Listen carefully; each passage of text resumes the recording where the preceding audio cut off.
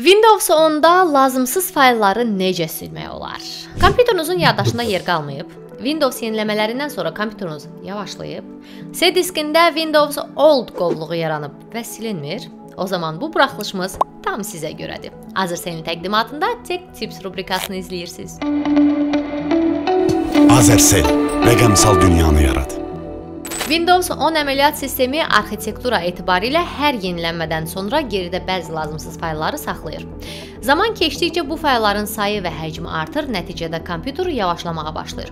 O zaman gəlin bu problemdən ən tez necə xilas olmaq olar, ondan danışaq. Lazımsız faylları silmək üçün iş masamızda olan Disk PC qovluğuna daxil oluruq.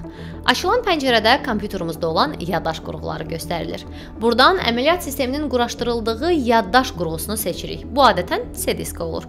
C diski üzərində mausun sağ düyməsinə klik edərək açılan pəncərədən Properties-ə keçid edirik. Növbəti pəncərədə Disk Cleanup seçiminə daxil oluruq. Sonrakı açılan pəncərədə isə Cleanup System Files-a klik edirik.